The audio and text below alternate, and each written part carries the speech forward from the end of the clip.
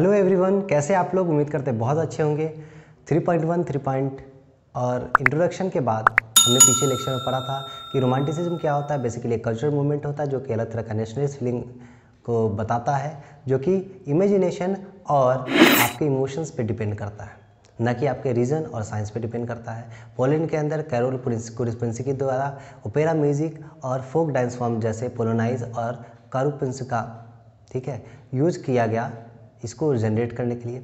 और लैंग्वेज को भी यूज़ किया गया नेशनल फीलिंग को जनरेट करने के लिए। कौन सा लैंग्वेज तो पोलिश लैंग्वेज किसके खिलाफ? तो रशियन डोमिनेंस के खिलाफ। अब यहाँ तक पढ़ने के बाद हम लोग शुरू करते हैं अगला लेक्चर पॉइंट है जो हमारा three point two hunger hardship and popular revolt hunger hardship and popular revolt मतलब हंगर कहने का मतलब आपको भूख आया, ठीक है? हार्डशिप मतलब आपका जीवन टफ हो गया और ये सारा करके क्या बना एक? रिवोल्ट का कारण बना।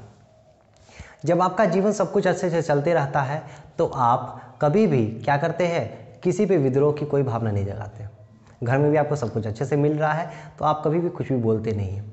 लेकिन सब कुछ करने के बावजूद भी आपको चीज़ें नहीं मिल रही है, ठीक है? आपका जीवन, दो रोटी मिलना भी मुश्किल हो रहा है तो आप क्या करते हैं, विद्रोह का एक बिगुल फूक देते हैं, ठीक है? यहाँ भी यही चीज़ हुआ। हुआ क्या? 1830 में आपको याद होगा लुइस फिलिप की सरकार बनी थी। लुइस फिलिप कॉन्स्टिट्यूशनल मोनार्की था ठीक है, जो कि कंजर्वेटिव रिगाम का जो monarchial form of Bourbon dynasty था, उसको हटाने के बाद रिवोल्यूशनरीज के बाद इनको स्टेब्लिश किया गया।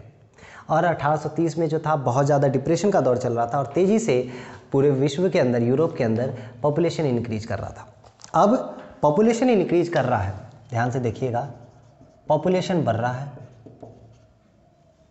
इंक्रीज इन पॉपुलेशन बढ़ा। ठीक है पॉपुलेशन बढ़ने के बाद अब दूसरा तरफ़ एक तरफ़ क्या हो रहा है? अनएम्प्लॉयमेंट बढ़ रहा है। अब अनएम्प्लॉयमेंट बढ़ रहा है। अब अनएम्प्लॉयमेंट बढ़ने के कारण अब गाँव से लोग शहर की तरफ़ आना शुरू कर दिए तो माइग्रेशन बढ़ रहा है। कहाँ से? From rural areas to urban areas obvious सी बात है ना जॉब जहाँ होगी वहाँ। ठीक है? अब अर्बन एरियाज़ में जा रहे हैं तो वो लोग कहाँ हो रहे हैं? जो स्लम एरिया है स्लम एरिया है, वहाँ पे वो लोग ओवर क्राउडेड बहुत ज़्यादा हो जा रहे हैं। ओवर क्राउडेड स्लम यहाँ बढ़ रहा है। स्लम एरिया बढ़ रहा है, ठीक है? सब कुछ बढ़ रहा है, देख रहे हैं? अब पॉपुलेशन बढ़ा तो पॉपुलेशन बढ़ा। जॉब चाहिए।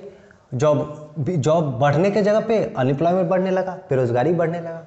फिर माइग्रेशन स्टार्ट हो गया from the rural areas to urban areas ठीक है? अब ओवर क्राउडेड स्लब के अंदर बहुत ज़्यादा पॉपुलेशन हो गया। अब ये सारा कुछ शहर के अंदर हो रहा है। अब शहर के अंदर जॉब के जगह पे, वहाँ पे क्या है? तो स्टिफ कंपटीशन हो रहा है। स्टिफ कंपटीशन मतलब बहुत टफ कंपटीशन हो रहा है। किससे? इंग्लैंड के इंपोर्ट से। क्योंकि वहाँ से चीज़ें सस्ती आ रही है। और यहाँ पे चीज़ें महँगी बन रही है। कि वहाँ पे मशीनें सस्ता है। तो टफ कंपटीशन हो रहा है इंग्लैंड के इंपोर्ट के कारण ये भी हो रहा है। अब तब जब ये कंपटीशन टफ हो रहा है तो जॉब क्या हो जाएगी? कम हो जाएगी ना, ये सारा कुछ कम हो रहा है। फिर उसके साथ इतना से मन नहीं भरा फ़ूड का प्राइस बढ़ गया। Rise of price in food कैसे? वो भी देख लीजिए। राइज ऑफ़ फ़ूड प्राइस तो कैसे हो गया? चूँकि क्रॉप फेलियर हो गया था, ठीक है ना? तो क्रॉप फेलियर हो गया राइज ऑफ़ फ़ूड प्राइस कैसे हो गया? तो क्रॉप फेलियर हो गया। अब क्रॉप फेलियर हो गया तो क्रॉप फेल्योर हो गया तो मतलब फ़ूड शॉर्टेज हो गया। Failure of crop is causes food shortage अब जब किसी सामान का, जैसे ये चार सामान है, और ख़रीदने वाले दो हैं, खरीदने वाले दो है तो क्या करेंगे? आपको सस्ता रेट पे चीज़ों को देना होगा। ये दस रुपया दे रहा है, आप भी दस में बेचेगा तो जल्दी बिकेगा नहीं। तो आपको आठ रुपया, कोई आठ रुपया बोला, कोई पाँच रुपया बोला, कोई चार रुपया बोला, ऐसे करके अपना सामान को बेचता है। लेकिन यही खरीदार चार सामान की जगह पे अब खरीदार दस हो जाए, जैसे लॉकडाउन का समय है तो इसमें सामानों का दाम बढ़ा दिया। ठीक है ना? क्योंकि लोग बेमतलब का भीड़ इकट्ठा कर दिए तो लोगों को लगा कि ये भीड़ इतना है मतलब सामान को हम बढ़ा सकते हैं। ठीक है ना? चार सामान है, इतना लोग खरीदने वाले हैं तो रेट क्या हो जाएगा? ये भी दस रखा हो, ये भी दस रखा हो, ये भी दस। अब कोई कम करना चाहेगा? लेना है तो लीजिए नहीं तो चाहिए तो फ़ूड क्रॉप फेलियर हो गया फ़ूड शॉर्टेज हो गया तो अब क्रॉप फेलियर होगा तो फ़ूड शॉर्टेज होगा। ठीक है? तो फ़ूड का प्राइसेस क्या हो गया? इंक्रीज कर गया। ये सारा कंडीशन हो गया, ठीक है, जो लोगों को क्या ले आया? They bring all the people on the road सारे लोगों को रोड पे खड़ा कर दिया। अठारह सौ अड़तीस, या तीस से अठारह साल बीत गया, धीरे धीरे धीरे धीरे कंडीशन वर्स्ट से वर्स्ट होता चला गया। अठारह सौ सॉरी 1848 वो वर्ष था अभी शासन किसकी चल रही थी? लुइस फिलिप की, जो मराकियल फॉर्म ऑफ़ गवर्नमेंट था बट विद द कॉन्स्टिट्यूशन अब शासन इनकी चल रही थी। लोग को लगा, यही है, इसी कारण ये कंडीशन इतना बुरा हो रहा है। किसके कारण? लुइस फिलिप के कारण। ठीक है ना? इसी के कारण कंडीशन बुरा हो रहा है। कंडीशन जब बुरा हो रहा है तो लोग क्या कर दिए इसको? अब हटाने के लिए हो गया लोग हटाने के लिए तो वो अपना छोड़ के भाग गया। ठीक है ना?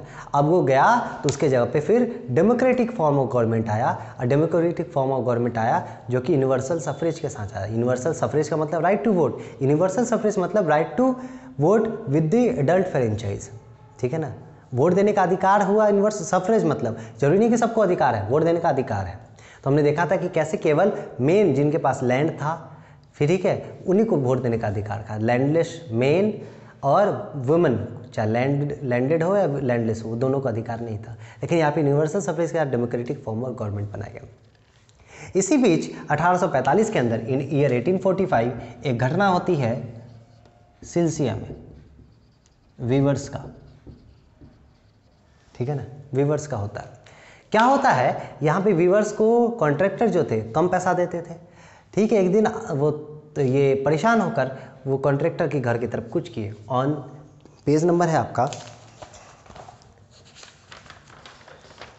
Page number sixteen on June four eight two P M crowds बहुत ज़्यादा उधर तरफ़ जाने लगा कॉन्ट्रैक्टर की।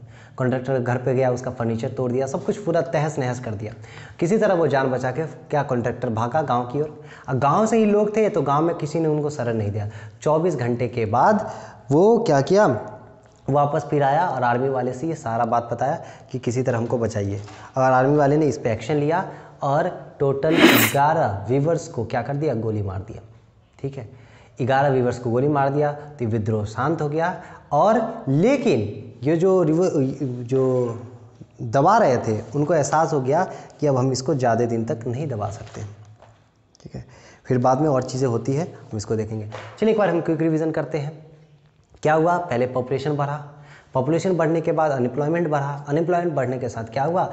कंपटीशन स्टार्ट हुआ शहर के अंदर और crowded over crowded slum areas हो गया ठीक है? उसके बाद फ़ूड शॉर्टेज हो गया। कैसे? फ़ूड फेलियर हो गया था क्रॉप फेलियर हो गया था फ़ूड शॉर्टेज और फ़ूड शॉर्टेज होने के कारण पॉपुलेशन इंक्रीज ये प्राइस इंक्रीज किया और ये सारा कंडीशन एक वाइड स्प्रेड एंगर क्रिएट किया लोगों के अंदर।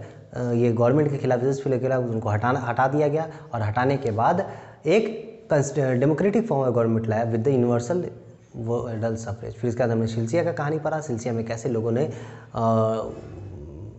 कॉन्ट्रैक्टर के घर की तरफ़ कुछ किया था और उसके सामान को सारे को तोड़ ताड़ दिया और 24 घंटे तक इधर उधर घूमने के बाद जो कॉन्ट्रैक्टर था वापस शहर में आया और जो आर्मी था उससे मदद मांगा और इसके एवज में ग्यारह जो वीवर्स थे उसको गोली से मार दिया गया। ठीक है? यहाँ तक आशा करता हूँ आपको समझ में आया होगा। ठीक है? आपको जल्दी आपको नोट्स आपके ऐप पे KJ group of institution play store पर ऐप है, वहाँ से डाउनलोड कर लीजिए, इस पर आपका जल्दी आपका नोट्स अपडेट हो जाएगा। ठीक है? तब तक खुश रहिए, सतर्क रहिए। जय हिंद।